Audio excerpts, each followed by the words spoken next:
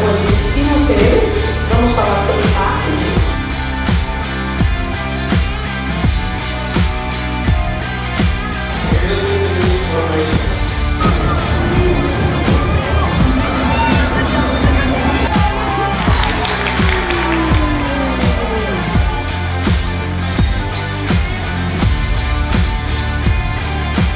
Muito obrigado.